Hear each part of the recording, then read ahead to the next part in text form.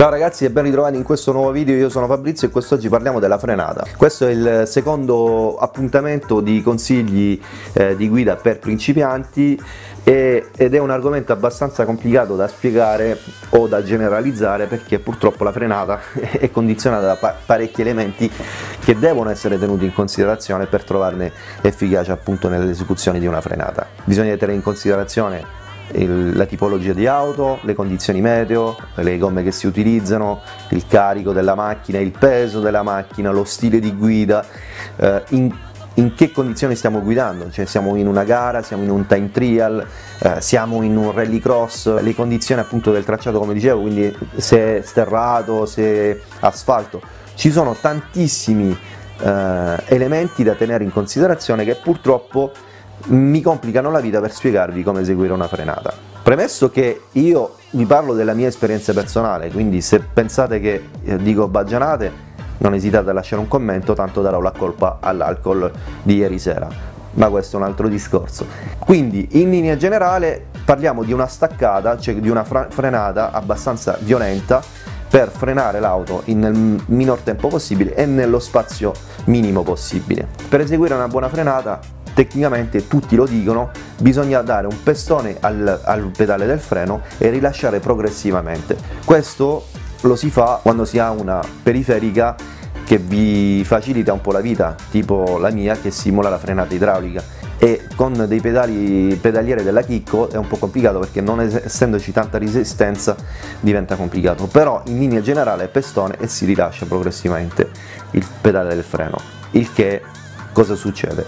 Non solo mi fa frenare l'auto, ma rilasciando pro progressivamente il pedale e quindi con la sensibilità del mio piede riesco a sentire se sto per bloccare o meno, quindi rilascio.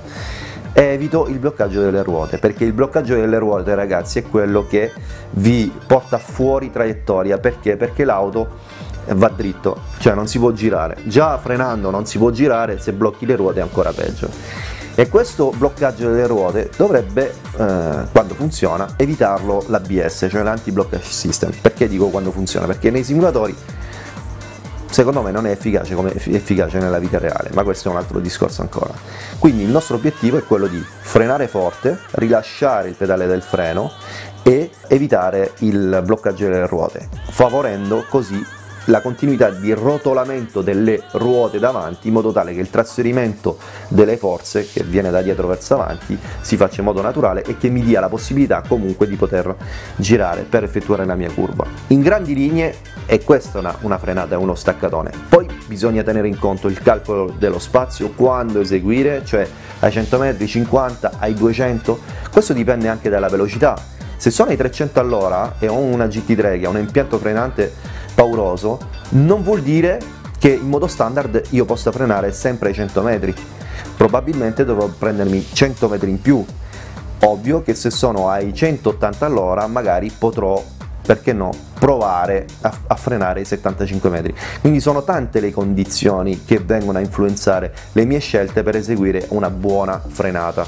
Attenzione ragazzi, quindi la tecnica è praticamente sempre la stessa, anche se io devo essere onesto, eh, uso tantissimo eh, pompare sul freno. Perché? Perché simula eh, un po' l'ABS al rallentatore, il che mi fa riguadagnare grip sulle, sulle, ruote, dando sempre continuità di rotolamento appunto delle ruote, quindi il trasferimento di queste forze si fa, come dicevo, in modo naturale e quindi questa linearità di trasferimento delle forze senza il bloccaggio delle ruote mi dà la possibilità di poter impostare le mie curve è ovvio che tutto quello che vi sto dicendo si basa su comunque molta pratica perché il limite in pista lo trovate da, solo, da soli facendo pratica ragazzi e avendo padronanza del vostro mezzo.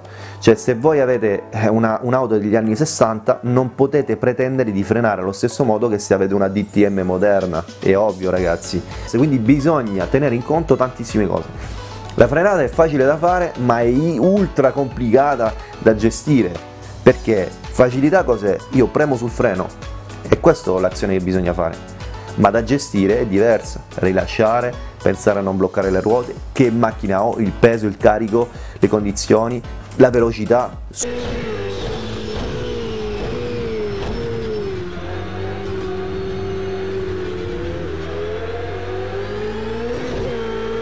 sono tutti elementi che per poterli padroneggiare serve tantissima pratica.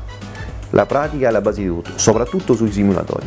In realtà bisogna avere un istruttore e tanto fegato perché eh, fare delle staccate in realtà non è come succede qui nei nostri simulatori e qui non mi insegno nulla. Quindi io vi ho già detto due, le due tecniche che utilizzo io, pestone, rilascio oppure pompaggio, cioè nel senso inizio, freno e poi inizio a pompare un attimino per fare riguadagnare grip sulle, sulle mie gomme.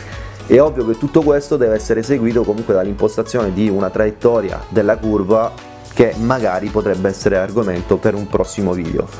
Io ragazzi mi fermerei qui perché altrimenti ci lanciamo in discorsi in cui bisognerebbe toccare il trasferimento di carico eccetera eccetera, quindi tenete a mente che la pratica è la base di tutto per poter eseguire una buona frenata, che lo scopo è quello di fare stacca una staccata nel minor tempo e spazio possibile evitando assolutamente il bloccaggio delle ruote. Questo è quello che dovete tenere in mente.